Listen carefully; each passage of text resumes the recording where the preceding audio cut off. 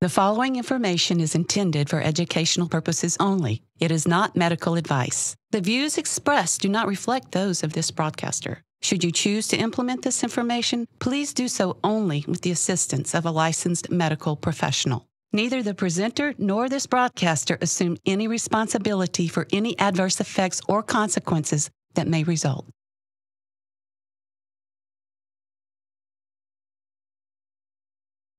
So, do you know your cholesterol number? Do you really know your cholesterol number? I'm not talking about your HDL, about your LDL, even about your VLDL, or even your total cholesterol. Believe it or not, those are not your cholesterol number.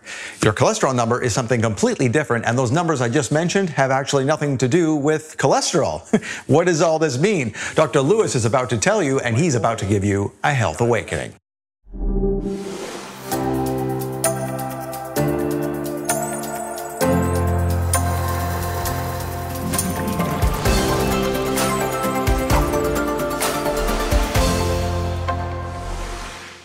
So, what exactly is cholesterol? Do we really understand what it is, what it means, and what we need to do about it? Well, someone that can help us understand all this is Dr. Tom Lewis. Dr. Tom, welcome to the Health Awakening. Thank you so much, Scott. Glad to be back here. Now, you've got a lot of experience with uh, uh, chemistry in particular. Can you explain your, uh, your background and what it has to do with our topic today, cholesterol? Well, so I'm a medical data scientist. I have a doctorate from MIT, and then I went to the Harvard School of Public Health studied toxicology and nutrition in the public interest. And so, actually, Harvard teaches us an awful lot about the cholesterol molecule, but no one's talking about it. Let me give you an example. I would argue that almost no one, or maybe even no one, knows what their actual cholesterol level is in their body. But before I go into that, I thought I'd just drop that bomb to start with even though you think you do, you know your total cholesterol, which is irrelevant really. But see, the cholesterol molecule itself is one of the most important substances or molecules in all of human physiology. According to Harvard, in a publication they put out to the public and internally in 2005, cholesterol is one of the most important substances because it is a building block for the membranes of all cells in the human body and in, in, mammals in general. And it's not just there for structure, it's there for function. It helps regulate what goes into and out of cells. So that's a very important one two punch. It's part of the membranes and it controls how the membranes function. Of course, you've got to get nutrients in and out of your cells to live well. Okay. And the third part of this is the cholesterol molecule itself is a building block to all the sex hormones, testosterone, estrogen, uh, cortisol, the one that wakes you up and puts you back to sleep, and even vitamin D, critical to our immune system, is a derivative of cholesterol. So you have to start with cholesterol, and your liver will build the vitamin D molecule. So that's how critical cholesterol is to the body. So it sounds like cholesterol is more important than we realize. You, you actually need more cholesterol. And so what looks good on a, a life insurance application may not be exactly what's good for good health. Is that right? Oh, oh, completely. It, it's completely true. And, you know, your body synthesizes cholesterol. 80% of the cholesterol flowing in your bloodstream, if they actually measure it, which they don't, is synthesized in your liver. But more importantly, 25% of that cholesterol is in your brain. Your brain can also manufacture cholesterol. That's how important it is to the brain because the brain is so physiologically active. It needs a lot of rebuilding um, building blocks, and cholesterol is part of that. So I would say that if you look at cholesterol, there's either one or two conclusions you can reach. Either God decided to destroy mammal and human brains by putting all this cholesterol up there, or it's extremely important to our health.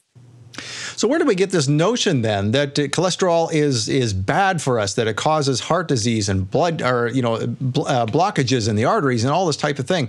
Where do we get that from, and and uh, where do you think uh, it leads properly when properly understood?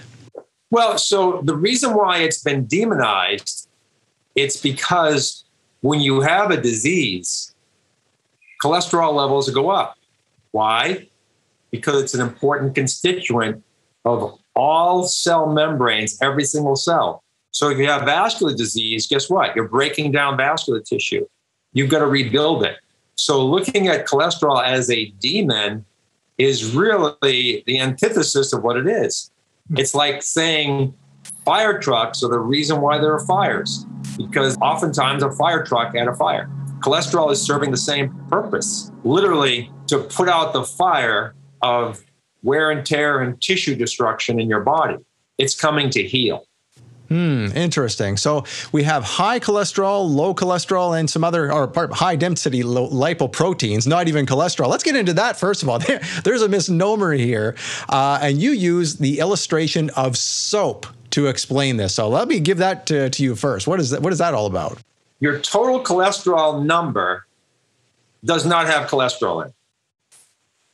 Total cholesterol is an aggregate of three things, three things added together your LDL, which is low density lipoprotein, no cholesterol in that, plus your HDL, high density lipoprotein, no cholesterol in that name. And the last part of the equation to calculate your total cholesterol is 20% of your triglyceride numbers, which is a measure of how much sugar you're taking in or very readily available, easily digestible carbohydrates. So in there, there is no cholesterol. But LDL, low density lipoprotein, is soap. What does soap do? You have a greasy dish. You wash it with water, it's still greasy. You add soap, it removes the grease, but that grease is being carried through water and down your drain. Your vascular system, your bloodstream is water based. But fats are extremely important. We know there are fats and we know there are water soluble things in our body. To carry the fats to tissue that needs it, like the vascular disease where your tissue is burning up and you need to bring something like cholesterol to repair it, LDL, low density lipoprotein, the exact same structure as soap, your liquid detergent, your laundry detergent, doesn't make any difference. It's all soap. Carries fat soluble things that would otherwise not be able to be carried through the bloodstream. Think about salad dressing. The oil and the water separate. You don't want that happening in your bloodstream. Throw soap in there and it'll become one homogeneous mix. That's what's going on in your bloodstream. Your HDL is the exact same thing except LDL carries fats to your tissue and HDL carries any excess that your tissue doesn't need at this moment back to the liver for either discarded be, to be discarded or to be recycled. Let's hold the thought on that. We'll be right back with more from the Health Awakening with Dr. Tom Lewis. Stay with us.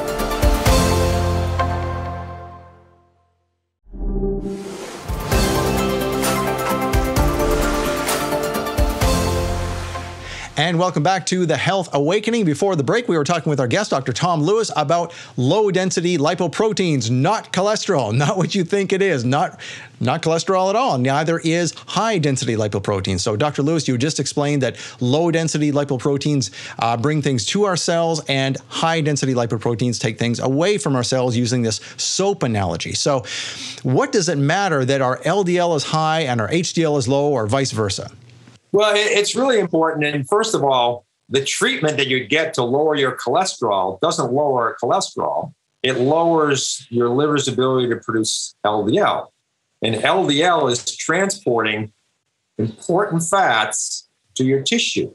So it's reducing that. And some of those fats, vitamin D, vitamin A, uh, marine uh, fatty acids that are important to brain health, any number of, of different things.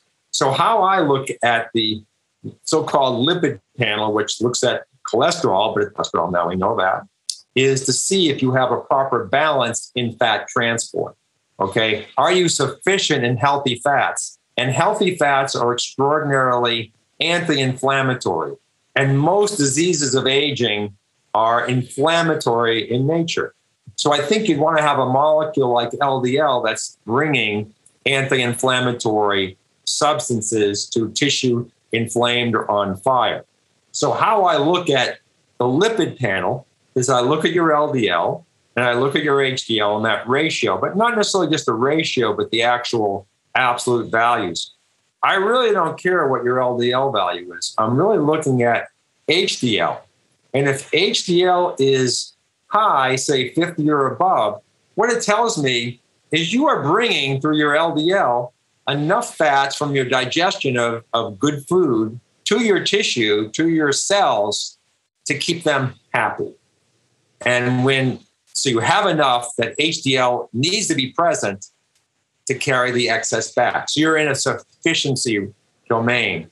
But below 50, what it's really telling me is your cells are starving for these anti-inflammatory molecules. You're insufficient, either because you're on a drug that's lowering your LDL that carries them there, or you have enough of an inflammatory process going on that your body is needing much, much more than someone who's in a much healthier state. So you have to bring more fats to this scenario. So I can have two people with an LDL of 150. One has an HDL of 80 and one has an HDL of 30. The one with the 30, it's because they are using all the fats in their body and there's very little to be brought back. They are in an inflammatory state. The one with a 70 or 80, they're sufficient. They're just using some, but they have plenty of excess. They're, the fire is already under control or, or snuffed out. So that's no issue. So we call the HDL the good cholesterol but it is, there's no cholesterol there. There might be a little cholesterol in the HDL, but there's all kinds of other fats in there as well. So, but it is true that as HDL goes up, it tells you that you kind of have things under control. But as LDL goes up, it's not a bad thing, but it's telling you that there's a lot of inflammation or irritation or literally a fire burning inside your body that it's trying to put out. But I must reiterate total cholesterol, the number you get is LDL, which is just a carrier for fats. Cholesterol is one fat. No one's measuring how much cholesterol is in an LDL particle. HDL is the one, another high density lipoprotein that brings the fats back. Once again, there may be cholesterol in there or there may not be. And then the last value in the calculation for total cholesterol is 20% of your triglycerides. So if your triglycerides are 100, you add 20 to your total cholesterol score to get that number. But once again, total cholesterol, nobody knows what their cholesterol number is in there. Nobody. Hmm. Now, does that matter? Does it matter that we know or we don't know what our free cholesterol is? Is there some something we're missing here by not knowing that number? Well, yes, because cholesterol makes up every single membrane of every single cell in the human body. So, like in cancer, the tumor is ripping tissue apart. And at the molecular level, it's ripping, or microscopic level, it's ripping cells apart. So, if you have cancer, I would argue that your free cholesterol number would go up. We don't have access to that number. The closest we can get to this as something as a surrogate for it is something like VLDL, very low density lipoprotein. But even that is still not the cholesterol molecule. So I, I say that we have, since 1987, when statin drugs were introduced to lower cholesterol, really lowering LDL, they've grossed a half a trillion dollars to lower cholesterol. But not one person, not one doctor knows what the number is for what they're lowering. They use LDL, but LDL, I mean, vitamin A, retinoic acid, extremely important for the eye. Retinoic acid, the retina. LDL carries vitamin A.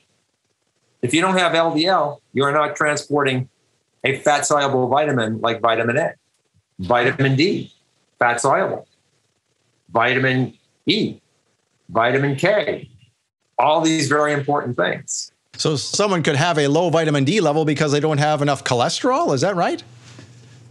No, no, because they they've been they've been treated with a drug that doesn't impact cholesterol. It imports the transportation of cholesterol among other fat soluble substances. So, how much is that LDL carrying in terms of cholesterol? No one knows. You know, because it has all these other things in it as well. Interesting. Okay, well, a fascinating conversation about cholesterol with Dr. Tom Lewis. We'll be back with more from the Health Awakening. Stay with us.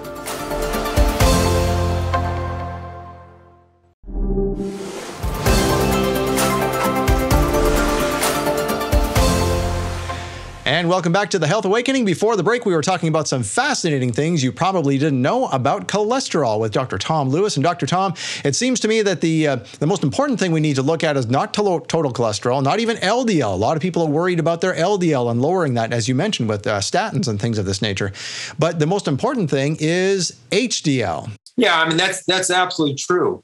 I mean, your liver is producing both of these for a reason to help you balance things out.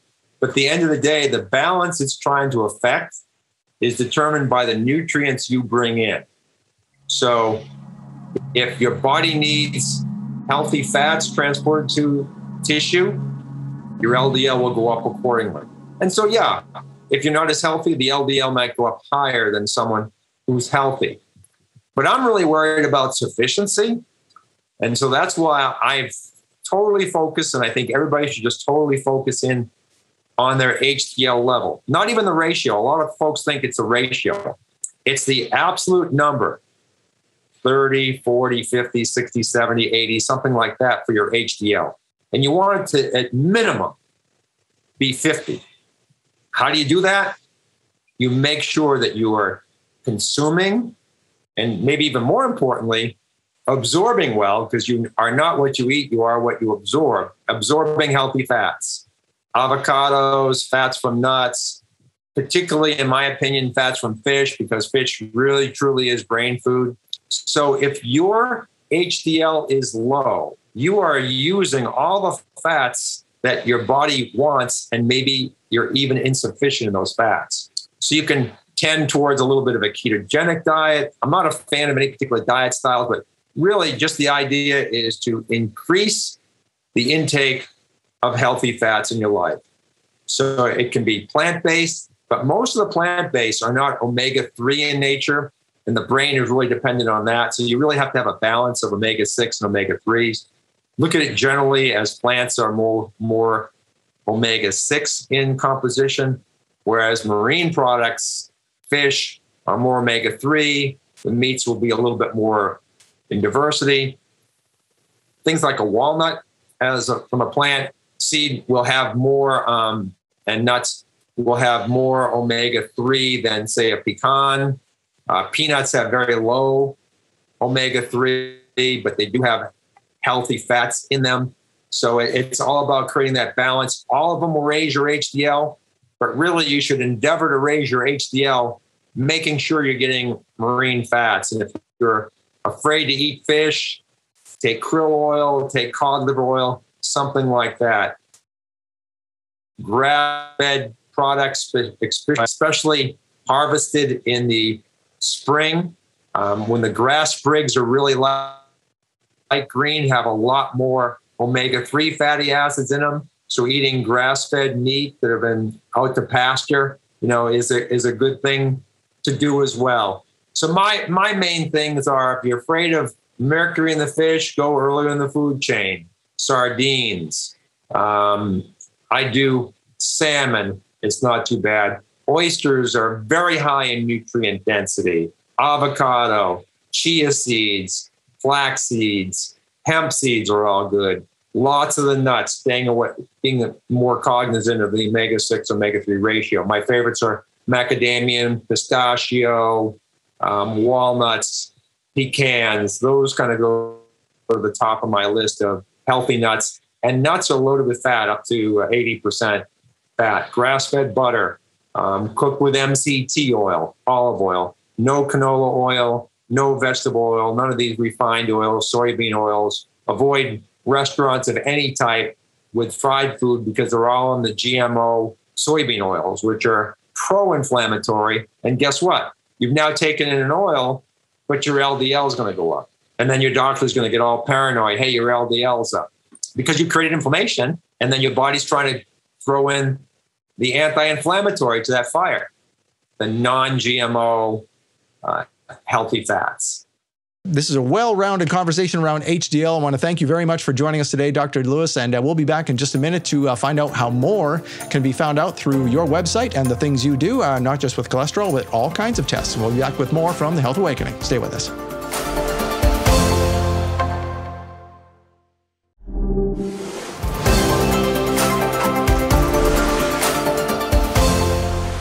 Well, thank you for joining us today on the Health Awakening. Our guest has been Dr. Tom Lewis. And Dr. Tom, you offer lots of different testing, not just to do with uh, cholesterol, but you have an entire blood panel that can tell uh, folks what kinds of diseases they are maybe susceptible to. And what other kind of uh, testing do you offer? Well, first of all, we have a pretty robust team at Health Revival Partners. So it's healthrevivalpartners.com with several MDs that that work with us as, as well as health coaches and medical scientists. And you might know one of those, uh, Scott. I'm not so sure, but you know. uh, but anyway, you know, the main driver of chronic disease is inflammation. So we run inflammatory markers, C-reactive protein, and uric acid, and homocysteine. We can health and disease into six categories, which we do testing on immune health, infection, inflammation, tissue deterioration, metabolic health, and oxidative stress. So we're measuring all that. And you'd be surprised, one of the biggest drivers of adverse health for people 50 and older is periodontal disease from bad teeth, even if you don't have root canals or it could be cavitation from a wisdom teeth taken out. And that's a test we offer. It's a home it's a sent sent home home test kit. Just gargle, swish, and send it back in, and you'd be surprised how positive so many folks are. All right. Thank you, Dr. Lewis, for joining us. Again, go to healthrevivalpartners.com to find out more and discover all the tests that you can do to find out where you are on that health continuum. Thank you again for joining us today on the Health Awakening, and we will see you again next time. Thank you for joining us today on The Health Awakening. You can catch the replay of this episode and see our complete show archive at healthawakening.tv. For more information about our guests today and all they have to offer, please visit their website on the bottom of your screen. And please remember, the information you saw today is intended for educational purposes only. It is not medical advice, nor do the views expressed reflect those of this broadcaster. Should you choose to implement this information, please do so only with the assistance of a licensed medical professional. Neither the presenter nor this broadcaster assume any responsibility responsibility for any adverse effects or consequences that may result.